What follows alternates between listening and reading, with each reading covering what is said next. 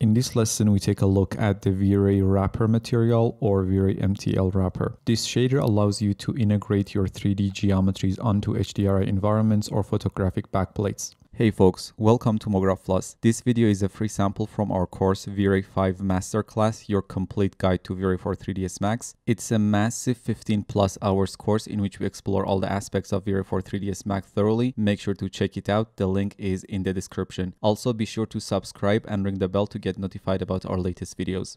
So you basically apply this shader to the floor plane to catch shadows from lighting within the scene. Using wrapper material, we can define additional surface properties per material. We get back to that aspect of the material later on in the lesson. We have this car model and we want to integrate it onto this backplate photo. To integrate your 3D models to a photographic plate realistically, you need a backplate or a photographic plate and the matching HDRI for that plate. I have included a photo and its matching HDRI thanks to hdrihaven.com, a great resource for free HDRIs and backplates. So first, let's add a V-Ray dome light.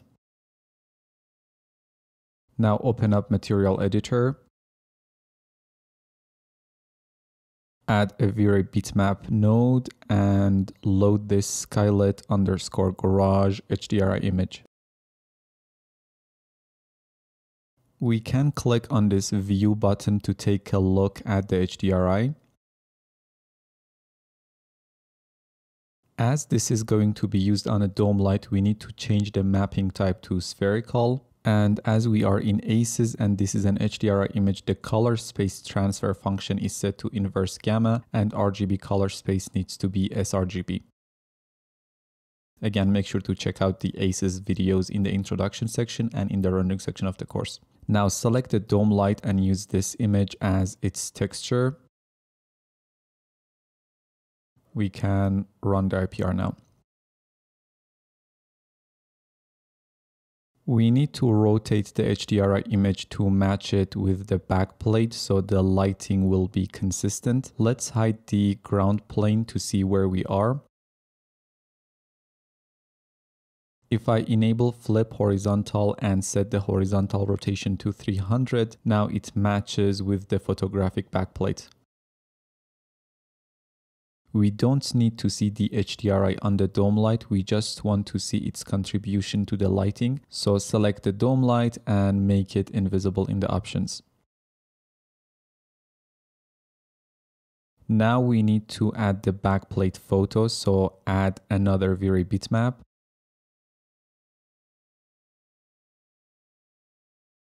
And load the backplate image we simply need to define this map as the environment map. So press 8 to open up the environment and effects window and instance the backplate image as the environment map. To make it look correct, down in the coordinate section of the map, change the mapping to environment and screen. Now we have a proper backplate. The next thing would be to match the camera with the photo. Just move it around until it matches or use tools like perspective match in the utility tab to match the camera perfectly. Now let's unhide our ground plane and add a new V-Ray material wrapper and simply assign it to the ground plane. The first thing is to define a base material so the wrapper material can work with. So I'm going to add a default gray V-Ray material and set it as the base material.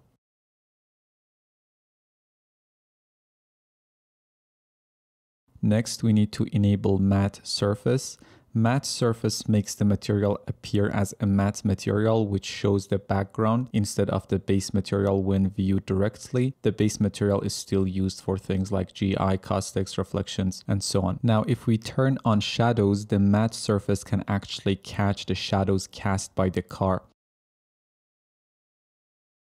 And voila the car is integrated into the photo. So that's it really. From now on it's just fine tuning using the available parameters here. We have this alpha contribution. It determines the appearance of the object in the alpha channel of the rendered image. A value of 1 means the alpha channel will be derived from the transparency of the base material. A value of 0 means the object will not appear in the alpha channel at all and will show the alpha of the objects behind it. A value of negative 1 means that the transparency transparency of the base material will cut out from the alpha of the objects behind. Matte objects are typically given an alpha contribution of negative 1. So for now, let's set it to negative 1. Let me also unhide this reflective sphere.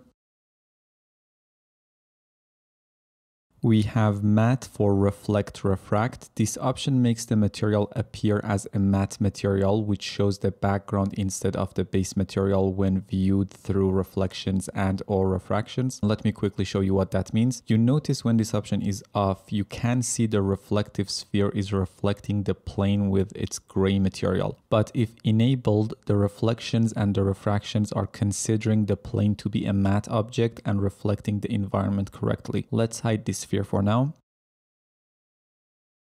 We have shadows and when this is enabled, the shadows will be visible on the matte surface and the surface will act like a shadow catcher we have affect alpha. When this is on, shadows affect the alpha contribution of the matte surface. Areas in perfect shadow will produce white alpha, while completely unoccluded areas will produce black alpha. Using this color, you can change the color of the shadows on the matte surface. We can actually pick uh, the color from the shady parts of the backplate photo for more realism if you wanted to.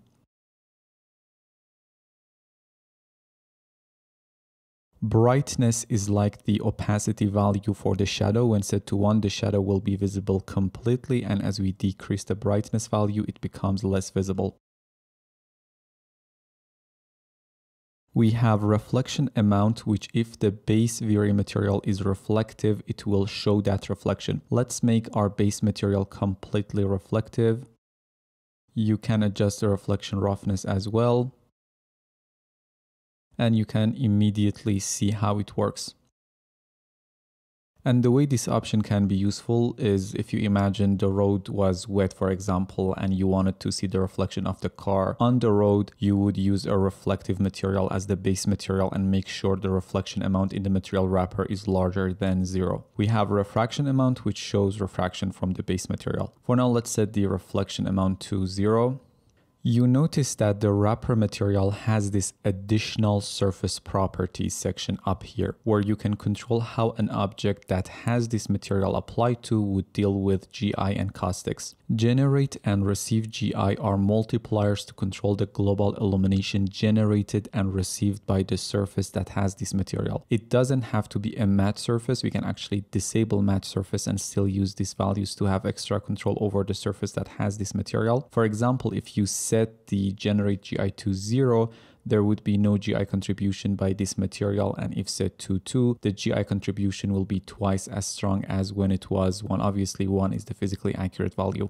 And receive GI the same way. If set to 0 the GI from other elements in the scene wouldn't affect the object that has this material. And if set to 2 it will receive twice as GI we can see higher values here maybe something like 10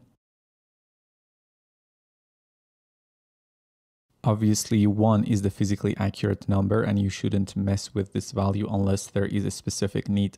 We have generate and receive caustics. We'll be discussing caustics effect later on. Generate caustics controls whether the material generate caustics or not and receive caustics control whether the material receives caustics or not. And we have this caustic multiplier to control how much caustics affect the surface that has this material. Now, if you want to have the same options on a per object basis, you can right click on any object in the scene and choose V-Ray properties. Here you notice we have the same matte properties on the right side and GI and caustics options are in the middle as well. We'll learn more about V-Ray properties window in another video later on in the course. For now, let me close this window and show you the final render for this scene. So in this video, we learned about V-Ray wrapper material and how to practically use it. I will see you in the next lesson. Make sure to visit our website mographplus.com or our Gumroad page at gumroad.com slash mographplus and check out our premium CGI and rendering courses for Cinema 4D, 3ds Max, Maya, Arnold, Corona, V-Ray, Redshift, Octane, and so on. See you in the next video.